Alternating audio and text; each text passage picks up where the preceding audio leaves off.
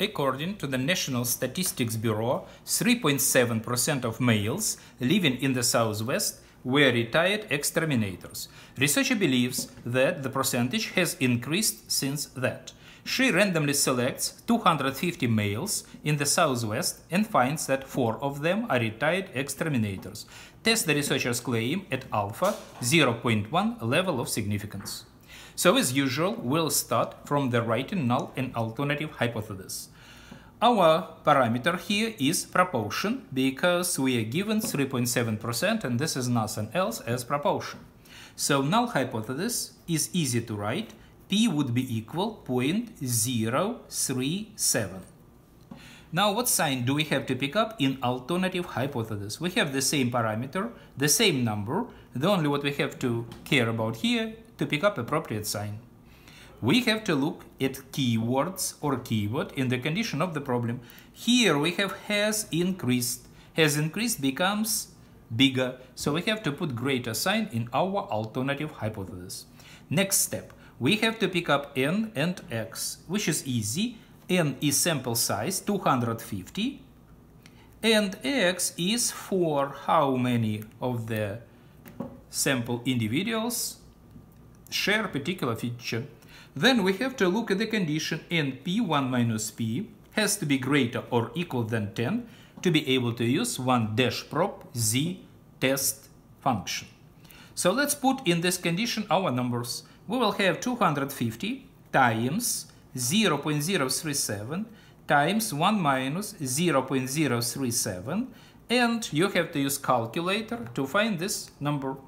So 250 times 0.037 times open parenthesis 1 minus 0.037 close parenthesis. Click enter and you will have approximately 8.9 you compare this with 10 clearly this is wrong. This is false statement. So we cannot use one dash prop z test and we have to use binomial probability distribution.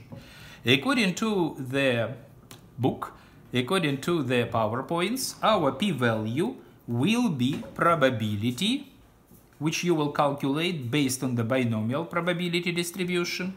And how can we find this p-value? What do we have to do for that? First, you have to look what sign do you have in your alternative hypothesis. This is greater. Then you have to look what your x is. And based on the combination of x and sign, you have to write all possible values for the x. You have to start from the value you have in the x, 4 in our case, and go in the direction indicated by the sign in alternative hypothesis. It's greater. So you have 4, 5, 6, up to 250. So our p-value will be probability that you could have 4 plus probability that you could have 5 plus you could have 6 and up to 250. Clearly, it's a lot of work if you will use to calculate probability for each particular number. So what to do in this case? You can write complement. Complement is everything not included in the sequence for the x. What is not included? 0, 1, 2, and 3. As usual, working with the complement, we can claim that our probability we're looking for would be 1 minus probability of the complement. And probability of the complement would be binomial probability distribution, CDF cumulative, because we have more than one value for the x, in which you will put your n, 250, you will put your probability p, 0.037, and you'll put biggest number in the sequence which starts from 0. So to find this probability, you have to grab calculator, you have to put 1 minus, then second vars, pick up your binom CDF, so go down until you will see binom CDF, not binom PDF, but binom CDF, in which you will put your n 250, 0.037, and 3. Click enter. The answer would be 0.9837. This is our p-value. You have to compare this p-value with alpha given to you 0.1. Clearly, our p-value is greater than alpha, so the conclusion is fail to reject null hypothesis.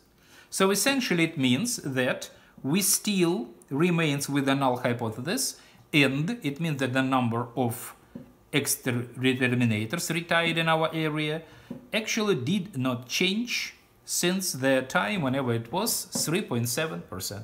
We did solve problem.